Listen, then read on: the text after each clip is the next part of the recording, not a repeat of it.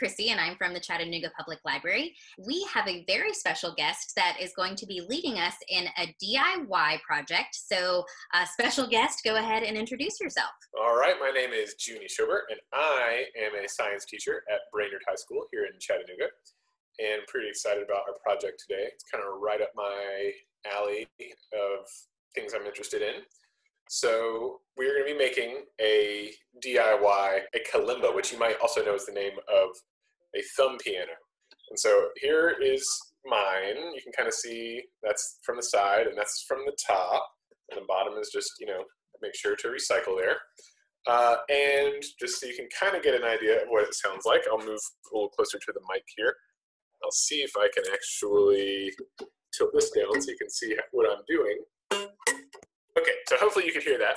It will probably sound a lot better in person than the way you know the microphone picks it up and processes it and then sends it over the internet and then you know plays it through the speakers on your end. There's a lot of steps in there to for the sound to not sound that great, but it sounds pretty cool. And like you're gonna make it out of stuff you probably already have laying around your house. We can learn a lot about how every musical instrument works and how sound is made with our DIY project here. Yeah. So, should we talk about the ingredients that we are going to need today? We are going to definitely talk about our ingredients. So, let me introduce the third camera and then we'll get going with the ingredients. Yeah, so excited. Okay, so what we're going to need to make our uh, kalimba or our thumb piano, our musical instrument here, uh, we're going to need some kind of box and that's kind of the main body of our instrument. I used a coffee can, like I showed you earlier.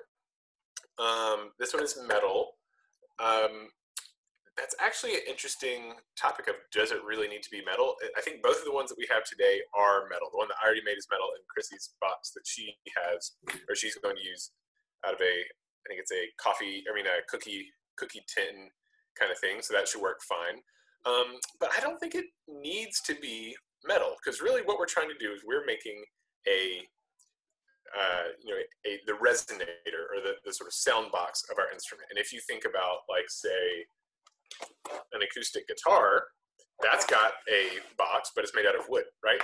If you think about a drum, you know that's got usually a box or a circle that's made out of wood with different material on the ends. So really, we can kind of get creative here. We do want it to be at least decently sturdy.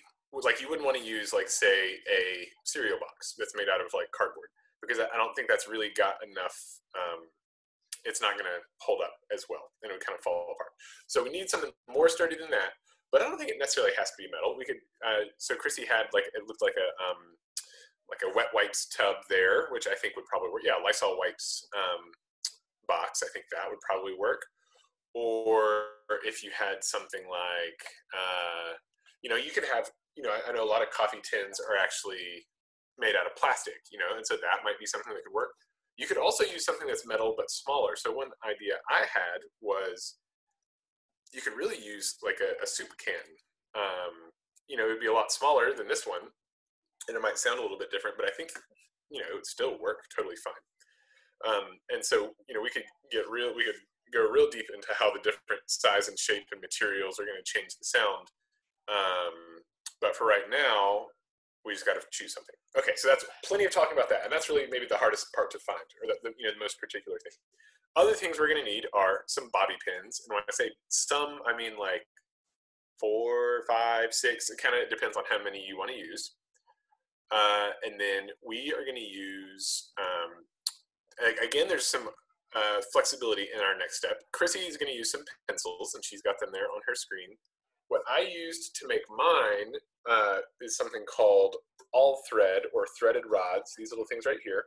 And it's basically like a bolt that you might get from a hardware store, but it just doesn't have like a cap on it. It's just all threads. That's what they call all thread.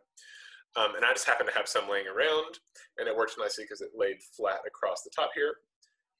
But again, I think pencils would be fine if you have like wooden dowels laying around, you know, like kite uh, kite sticks kind of things. I think that would work. You might have to sort of sacrifice another uh, toy for to make this one, or maybe you just have some extra stuff laying around. Chopsticks even would probably work. So anyways, lots of options there. Um, the last ingredient that we're going to need are some zip ties. And zip ties, if you don't have some laying around, go ahead and get some because even after you use them for this project, they come in really handy for lots of other stuff too. So that is it as far as the ingredients that we're actually going to include that are going to be part of our uh, kalimba at the end, but there are a couple other things that we're going to need to help make it. And so you can see Chrissy has a hammer there. Um, nothing fancy, just something to hit a nail. We're also going to need a nail. Okay, uh, so a hammer and a nail, and then uh, we might want to use some, uh, we got a marker. The marker is going to come in handy. We'll use that. And then we're going to need some scissors, and that's just going to be to help clean up our zip ties when we're done with that. Okay, so that's everything we need. Go and collect all your items if you don't have them already, and then we'll see what we're going to do to put things together. So the first things that we are going to need to make our kalimba are the box or the sort of resonating chamber, the sound chamber, and our marker. And again, since we're not all using the exact same box, there's a little bit of room for create. Well, there's a lot of room for creativity in the whole project, but specifically right here, we gotta kind of, you know, you gotta choose what's gonna be best for what you have. Because what we need to decide is which end is going to be the top and which end is gonna be the bottom. On my coffee can one that I made, uh, you know, usually the coffee can would be like this, and here's the top, right? But I decided to flip mine around because this surface up here is more sturdy than this kind of flimsy plastic. Remember, we were saying that flimsy is not, we, don't, we want something a little more sturdy. So um, if you have a side that's attached solid to the rest of your, whatever your box is, that's probably the side you want to use. So for Chrissy, you're probably gonna do the same kind of thing that I did and have the whole thing flipped upside down. I think I'm gonna keep it upside down. All right, so we've got that picked out it's ready to start doing stuff.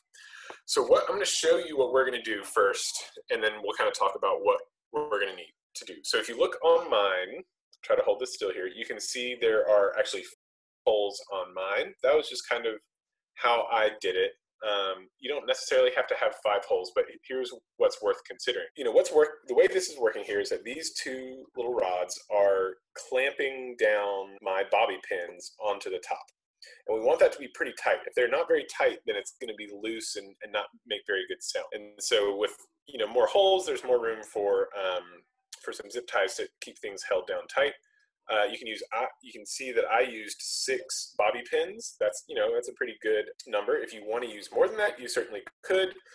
If you wanted to use less than that, you certainly could. I would say if we're going to go through all the trouble to make it, I would at least have four in there just so we can have four different notes. If you wanted to go totally crazy, you could have like 20, but that's going to, you could always make another one later that has more after we kind of figure out the details on this one. But what we need to do is we need to use our marker and we're going to poke six holes depending on just how secure we want to be. We do want to do four holes first. Okay, so let's look at, uh, basically we want to make something like these two and these two. So spread apart maybe about you know, two inches, about the size of a business card or a, um, you know, or a credit card or something like that. And we want two on one side and two on the other. The, each two is, they're relatively close to each other, you know, maybe a pencil width apart, but the pairs are maybe two inches apart. So she's got the pencil laid out. Good. So I think, yeah, right there, make a dot. And now directly on the other side of the pencil, make a dot. Perfect. And now to your right, maybe kind of up from the nutritional facts there. Yeah, do the same thing. You're just going to make a dot on either side of the pencil.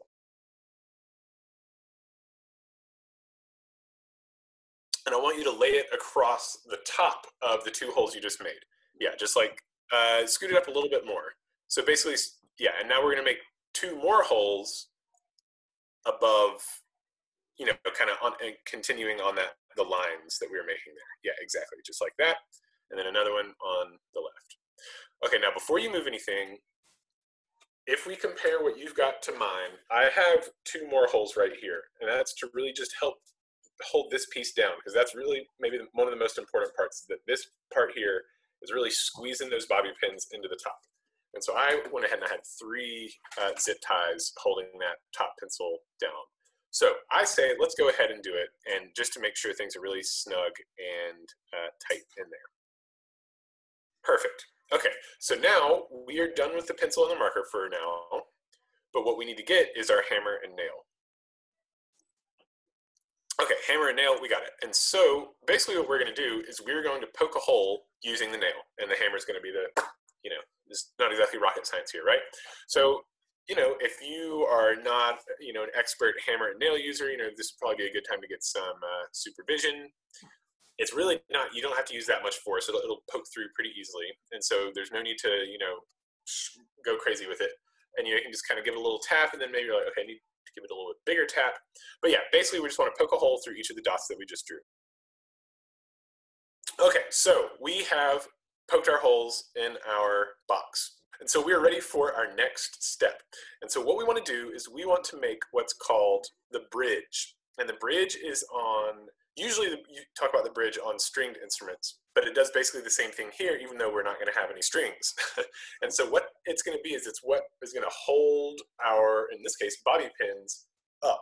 So if you look at mine, try to get like a side view here, my bobby pins are sticking up off the top of my coffee can. And the bridge would be this part right here that is holding it up. So what we're going to do is we're going to get one of our pencils, or whatever it might be that you're going to use. The only thing that you might need to do is make sure, you know, you might have to cut it, which is a little bit weird depending on what you're using. But we want it to be slightly longer than width of our two sets of holes, right? So you have like a row of holes here and a row of holes here. You want your pencil to be a wee bit longer. And Chrissy's smiling, which makes me think that hers might be too short. I've got a whole thing of pencils. She's right. going to get another pencil real quick. Um, what I'm doing um, is like I made a mark on my pencil and I just took I'm just taking a pair of scissors and kind of like scoring. So I'm keeping my fingers out of the way so it, you know I'm not putting a lot of pressure. Mm-hmm. So I'm just kind of like scoring my pencil. Yeah, and then and then you can yeah exactly and then you can break it and have much more controlled break. There you go. Perfect. Okay, so we've got those ready to roll. Now we're not ready to zip tie both of them on yet though. So what we want to do is just zip tie the bridge, which is going to be on the lower part where there's only the, there's not the dots in the middle basically, right? So what we can do is we're going to need two zip ties. And what I would recommend doing is go ahead and take, so take one of your zip ties and let's stick it through the hole on the, all the way bottom left. And I would stick it through from the top. Yeah. So stick it in. Yep stick it in there. Now lift up the box, reach around underneath, and we're gonna feed that back through the next hole up, so the hole in the middle. I've mentioned this before. We wanna make sure, you know, when you look at the zip tie, you know, you've got like a flat part and then kind of like almost like a, a you know, like a box on one side, right? You want to feed the open end it only works one way, right? So basically, you want to have it so that when you make it, when it's going to make a circle, you know, when you like fold it around to make a circle, the bot, I don't really, my hands are not shaped right. I should draw a picture. Yeah. Um, box part, box part right here. Yes. So you want it, yes. And so like right now you flip it around that way. Yeah. So it's not going to be able to go the reverse way. So when you are sticking it into the box, if you are standing the way Chrissy is standing over hers, you want to have it so that the box part is facing towards you go in the hole, then up through the next hole, and then you'll be able to um, feed it through pretty easily. Ready to go ahead and thread it through and pull it. Yes, good. Now, right, and we've got our pencil in there. So what you can do is tighten down those zip ties, and you want to get them like as tight as you can.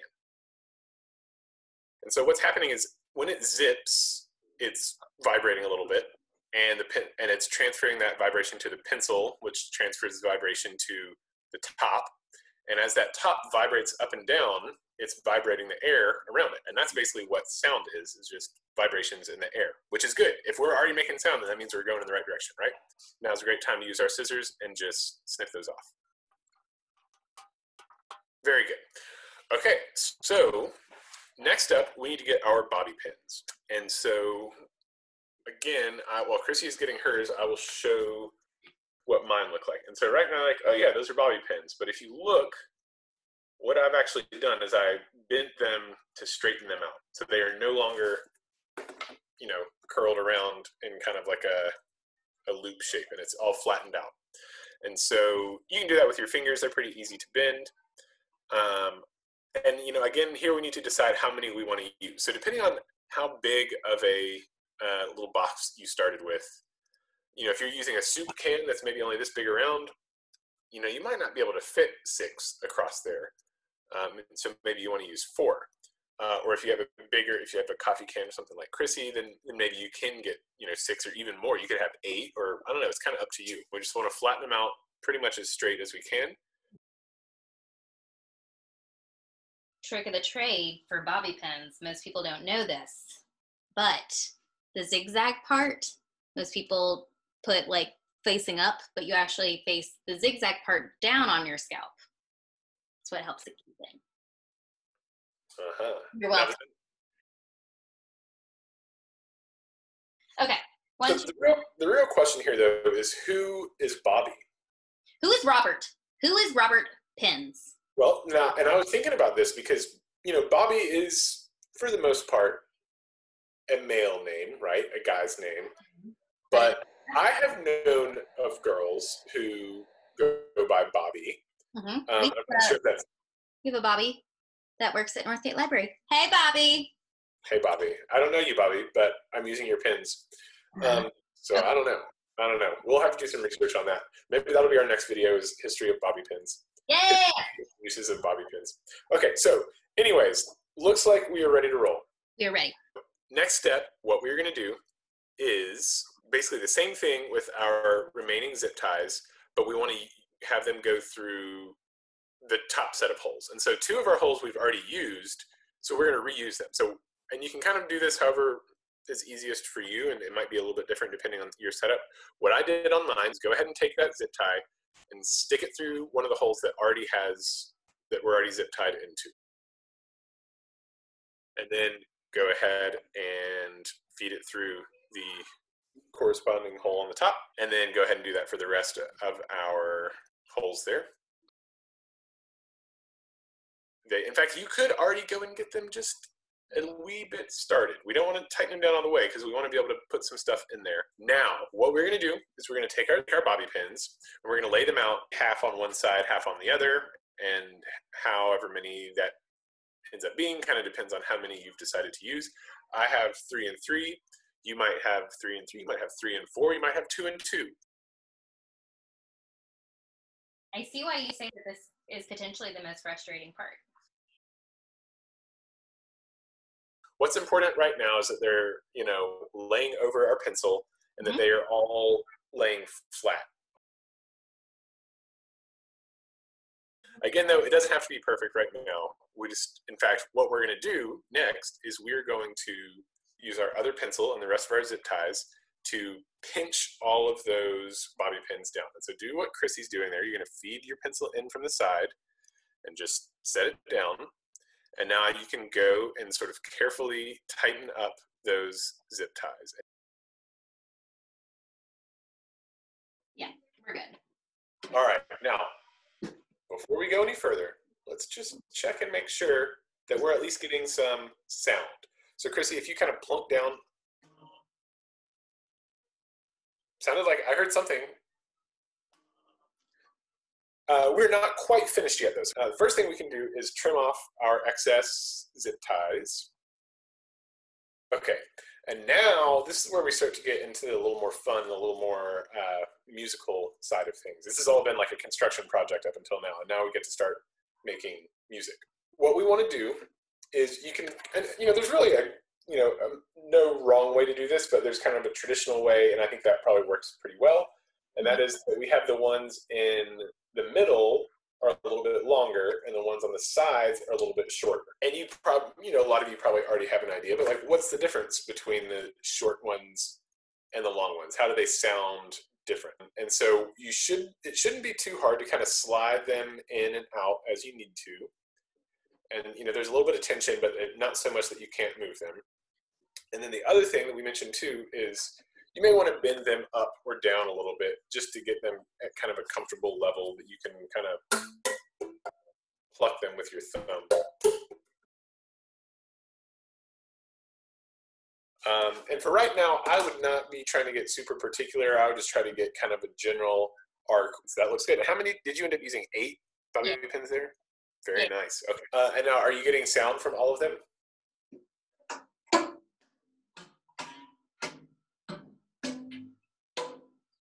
I heard lots of sound. It didn't sound particularly musical on my end, but again, that might be part of the internet. No, I'm just I'm not throwing any shade. I'm just commenting on the you know the compression of, of Zoom. Okay, Shady.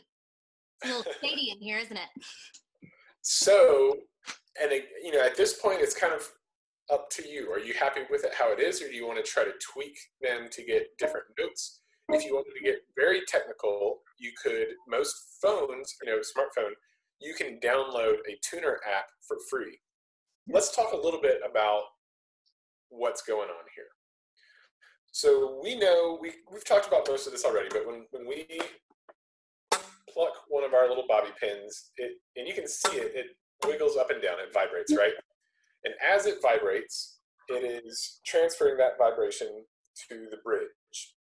What it's doing is as the bobby pins vibrate, they're you know pushing up and down on the bridge on the bridge, and the bridge pushes up and down on the top of the cookie tin. And as that cookie tin gets pushed up and down, it's vibrating, and it is able to push a lot of air up and down. On the, the little music box that Chrissy had, and that little thing, if you look close in there, and you, but there's that wheel that's turning, right? And, at, and there's little knobs on little bumps on that wheel. And as Chrissy turns the crank, that wheel spins, you know, it rotates around, and those little knobs hit pieces of metal that are different lengths, right? So on the left-hand side of, of the screen there, uh, there's a, it, it looks almost like a comb, right? And so it's little pieces of metal. They're different lengths, and they they kind of go from shorter on one end to longer on the other. So ours kind of is you know laid out with longer in the middle and shorter on the sides. That music box is more like long on one side, and they just get shorter and shorter. You know, there's a ton of room for experimentation with this. With um, you know, you can slide the bobby pins in and out to get different lengths. Um, you know, like I, oh, the other thing we didn't talk about really is I assume everyone used probably the same type of bobby pin on their instrument. So my bobby pins might be different from Chrissy's, and Chrissy's might be different from somebody else's.